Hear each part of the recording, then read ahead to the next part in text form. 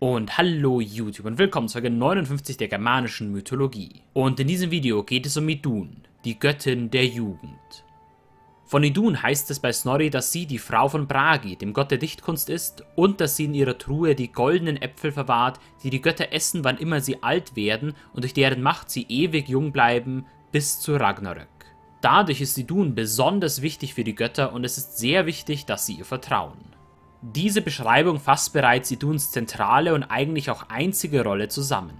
Sie ist die Göttin der Jugend und verwahrt die magischen goldenen Äpfel der Idun auf, die die Götter für immer jung halten und ihr Altern verhindern. So bedeutet auch der Name Idun schon so viel wie die Verjüngende. Obwohl Idun damit aber eine sehr wichtige Funktion für die Götter hatte und geradezu entscheidend für deren Überleben war, wird Idun nur sehr selten in den Sagen erwähnt und spielt eigentlich keine besonders große Rolle in der Mythologie. Wie wichtig Idun aber dennoch für die Götter war, zeigt sich im Mythos von Iduns Entführung. Zu Beginn dieser Sage ziehen Odin, Loki und Hönir von Asgard aus und die drei Götter begeben sich auf eine Wanderschaft über Gebirge, Täler und Einöden. Schließlich bekommen sie dabei aber Hunger und brauchen etwas zu essen. Und da sehen sie in einem Tal eine Herde von großen Ochsen und sie nehmen sich einen davon und wollen ihn braten. Doch egal wie lange sie den Ochsen auch kochen, das Fleisch will und will einfach nicht gar werden. Schließlich ruft ihnen dann ein gewaltiger Adler, der auf einem Baum über ihnen sitzt, zu, dass er es ist, der dafür sorgt, dass das Fleisch nicht gar werden will und sie ihm etwas davon abgeben sollen, wenn sie denn den Ochsen tatsächlich braten wollen. Die drei hungrigen Götter stimmten dem Ganzen zu und der Adler kam herab und nahm sich als erster vom Fleisch des nun gebratenen Ochsen und dabei nahm er sich sogar einen sehr großen Teil und wollte damit davonfliegen. Loki aber gefiel es ganz und gar nicht, dass dieser Adler den größten Teil des Ochsen haben sollte und so nahm er eine Stange und schlug damit nach dem Adler. Loki traf ihn auch, aber die Stange blieb im Adler stecken und der flog dennoch davon und Loki hielt sich an der Stange fest und wurde mitgezogen. Der Vogel begann den Gott davonzuziehen und Lokis Füße rissen Geröll, Steine und Bäume aus in den Versuch am Boden zu bleiben, aber der Adler trug ihn davon. Als er so in die Luft gezogen wurde, bekam Loki große Angst und er bat den Adler darum, ihn bitte wieder zu Boden zu lassen. Dieser antwortete darauf, dass er Loki nur dann freilassen würde, wenn er Idun mitsamt ihren magischen Äpfeln aus Asgard hervorlocken würde. Denn tatsächlich war der Adler, mit dem Loki hier aneinander geraten war, eigentlich der durchaus mächtige Riese Thiassi. Und Loki versprach ihm sogleich, Idun auszuliefern, und für diesen Spur ließ ihn der Riese in Artegestalt wieder sicher zu Boden. Loki kehrte dann zu den anderen zurück und erzählte ihnen nichts von dem, was er mit dem Adler abgesprochen hatte, und sie setzten ihre Reise fort. Als Loki dann wieder zurück in Asgard war, ging er, so wie er es versprochen hatte, sogleich zu Idun und meinte, dass er bei seiner Reise Äpfel gesehen hätte, die ihm sehr, sehr wertvoll und besonders magisch erschienen wären. Daher bat er sie darum, dass Idun mit ihm kommen und ihre magischen Äpfel bringen würde, damit sie sie mit den Äpfeln vergleichen könnten, die er gefunden hatte. Unter diesem Vorwand schaffte es Loki Idun mitsamt ihren goldenen Äpfeln vor die Mauern von Asgard zu locken und dann kam Thiassi erneut in Adlergestalt und packte Idun samt ihrer Äpfel und trug sie nach Trümheim davon, wo sein großer Hof war. Als die Asen wenig später Iduns Verschwinden bemerkten, wurde ihnen klar, in welch großer Gefahr sie nun waren. Ohne die Verjüngende und ihre goldenen Äpfel begannen sie zu altern und die Götter begannen alt und grau zu werden. Rasch riefen sie zum Ting auf und dort fragte jeder den anderen, wo er Idun zuletzt gesehen hatte und was sie tat.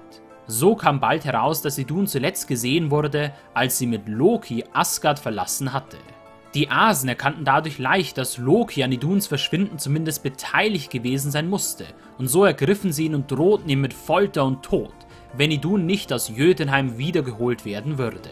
So war Loki also erneut in tödlicher Gefahr und nun musste er versprechen, dass er Idun wiederbringen würde. Dazu nahm er sich als erstes das Federkleid von Freya, mit dem man sich in einen Vogel verwandeln kann, und flog in Gestalt eines Vogels nach Trümheim. Er wartete dort, bis Thiassi zum Meer hinausgefahren war, bevor er sich in seinen Hof einschlich. Um Idun nun schnellstmöglich zu retten, verwandelte Loki die Göttin in eine Nuss und nahm sie in seine Klauen und flog damit so schnell er konnte davon. Thiassi bemerkte bei seiner Rückkehr kurz danach, dass sie weg war, und wieder wurde er zu einem gewaltigen Adler und flog Loki hinterher. Als die Asen sahen, wie Loki mit Idun als Nuss in seinen Klauen herangeflogen kam, aber von Thiassi verfolgt wurde, bereiteten sie kurz vor Asgard ein großes Feuer vor. Als Loki über die Mauern von Asgard hinweg war, ließ er sich rasch zu Boden fallen, während die Asen das Feuer entzündeten und die Flammen brannten die Federn des Adlers und so musste Thiassi landen. Kaum dass er dann am Boden war, ergriffen die Asen ihn und erschlugen ihn. So war Idun wieder sicher zurück in Asgard und die Götter hatten die mächtige Göttin der Jugend zurück und durch ihre goldenen Äpfel wurden sie bald wieder jung. Eine direkte Folge dieser Sage war aber auch, dass Thiassis Tochter Skadi sich nun rüstete und nach Asgard kam und Wiedergutmachen für den Tod ihres Vaters forderte. Dadurch kam es auch am Ende dazu, dass die Riesin Skadi zu den Asen kam und in die Reihen der Götter aufgenommen wurde und fortan die Göttin der Jagd und des Schneeschuhlaufens war.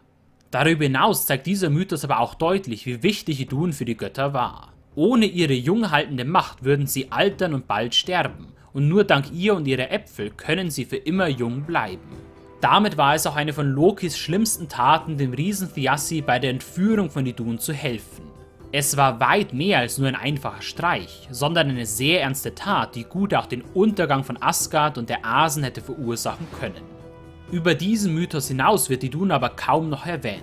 Eigentlich kommt sie nur noch wirklich in der Lokasenna einmal vor. Darin hält sie ihren Mann Bragi zurück, als er mit Loki streitet, nur um dann selbst von Loki beleidigt zu werden. Obwohl uns aber nun die Entführung von Idun in dieser Form nur von Snorri und damit weit nach der heidnischen Zeit beschrieben wurde, basiert diese Erzählung direkt auf dem deutlich älteren Skaldengedicht Haustlöng. Dieses Gedicht des Skalden Theodolf entstand etwa um das Jahr 900 herum. Bereits darin wird, wenn auch deutlich kürzer, das Abenteuer von Loki, Thiassi und die Entführung von Idun beschrieben. Zudem wird vermutet, dass Snorri vielleicht noch weitere alte Quellen für diesen Mythos gehabt haben könnte. Damit sehen wir auch, dass dieser Mythos und damit auch die Göttin Idun auf jeden Fall noch aus der heidnischen Zeit der Nordgermanen stammen und nicht erst später hinzugefügt wurden. Zugleich aber scheint dieser Mythos von der Entführung von Idun nicht sehr weit verbreitet und besonders bekannt gewesen zu sein. Und außerhalb dieser einen Sage haben wir nur sehr wenige Referenzen zu Idun in den Mythen und Sagen anderer Quellen. Daher ist auch unklar, ob Idun in der heidnischen Zeit überhaupt als Göttin groß verehrt wurde. Klar ist nur, dass sie in der heidnischen Zeit zumindest zu einem gewissen Grad bekannt war. Damit wäre es möglich, dass sie auch verehrt wurde, aber wir haben keine konkreten Beweise für einen Kult oder die Anbetung von Idun. Aufgrund der goldenen Äpfel und ihrer Kraft, die Götter jung zu halten, wird aber vermutet, dass falls Idun verehrt wurde, sie zu den Fruchtbarkeitsgöttern gezählt werden würde. Interessant ist dabei aber vor allem auch, dass das Symbol der goldenen Äpfel, das zu Idun gehört, eine durchaus noch ältere Historie bei den Germanen hat als Idun selbst.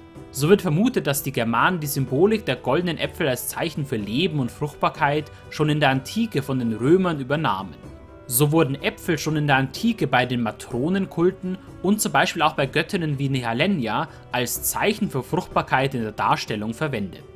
So ist Idun auch nicht die erste germanische Göttin, die goldene Äpfel als Symbol für Fruchtbarkeit und Leben bei sich trägt.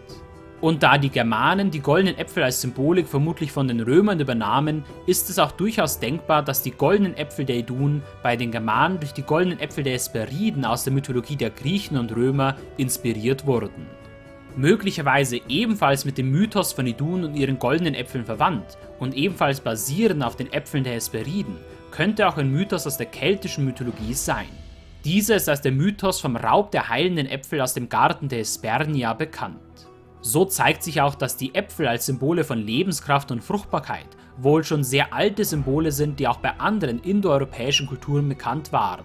Und bei den Germanen trugen bereits mehrere Figuren in der Antike diese Symbolik, während die Göttin Idun wohl erst bei den Nordgermanen dann zur Hüterin dieser lebenspendenden goldenen Äpfel wurde, die die Götter jung halten.